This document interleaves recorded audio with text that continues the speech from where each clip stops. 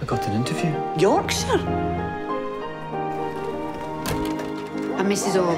I keep house for Mr. Farnon. I'm Farnon, Siegfried. New assistant. Oh, aye, another one. Mr. Farnon's new assistant. Another one? Let's trot forward. You dealt with many horses before. This will be my first.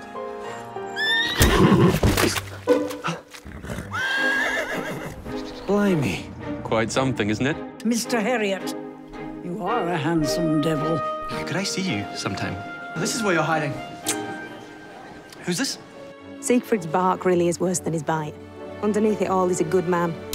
Stand up to him. He'll love you for it. Up in the dales, surrounded by those hills. There's no place on earth like it. Careful. Once it gets in your bones, it's hard to get out. I'm not sure I want it to.